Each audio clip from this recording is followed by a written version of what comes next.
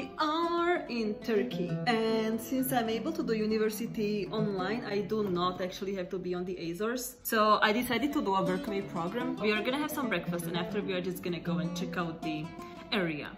Usually there are different kinds of olives, sauces, dips, jams, dried fruit, cheese, tahini and grape syrup, grounded poppy seeds, eggs, tomatoes, honey, butter, pastries and yeah. Also yesterday I discovered this uh, poppy seed butter which looks like this. And this is tahini. If you mix tahini with poppy paste you get something like Turkish peanut butter. The first day I arrived here, they showed me how you should prepare the tea. This thing boils water. You place the teapots on the top. Basically, if you turn this button up here, this thing will start giving you heat. So you just place the teapot on the top and it's gonna keep it warm. They use these very typical glasses.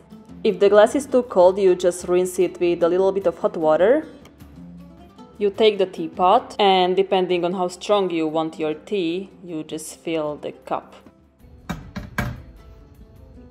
And then the last step, you just add some hot water. So yeah, that's basically the science behind the Turkish tea. Now I'm also gonna show you the view from this restaurant because it's very, very cute. So there is a view to the lake and the mountains. That's one of the mosques. The town is basically down there. There are the ruins of a castle where you see the flag like right here. And then here is the view to the other side. I actually have lived in Turkey before, but that was like four or five years ago and it was on the coast near Antalya.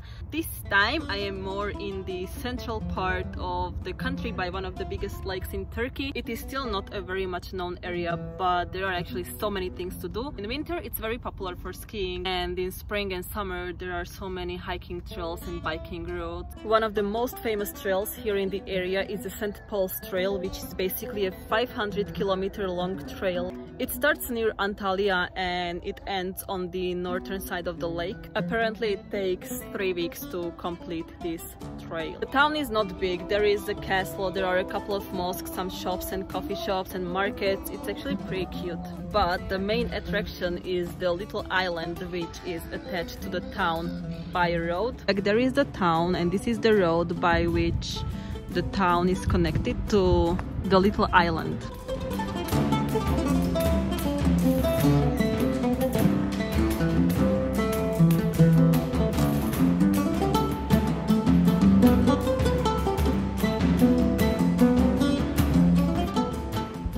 Island is like a very small village. In the past, it actually used to be a Greek settlement and this is the reason why they actually have a little church from the 19th century on the island. And besides of that, there are a lot of restaurants and apartments and guest houses and that's basically the island.